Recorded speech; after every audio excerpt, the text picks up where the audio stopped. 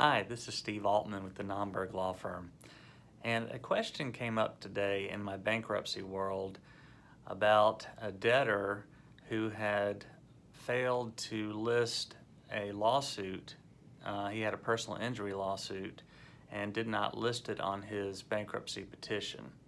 And the defense counsel wanted to know if the uh, case could be dismissed and um, because the debtor had already received his discharge.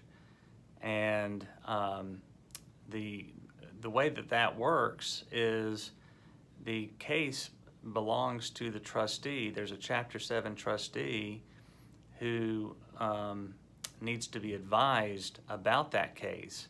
The fact that the debtor didn't disclose or didn't tell the trustee anything about that case could result in his discharge, his or her discharge being uh, denied uh, or revoked. But, um, but it doesn't mean that that lawsuit, that personal injury lawsuit just goes away.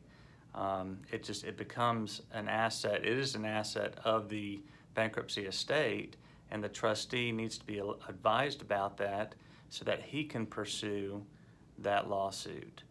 Um, so it's important if you're considering filing for bankruptcy that you disclose all of your assets on your bankruptcy schedules to avoid having any issues like this.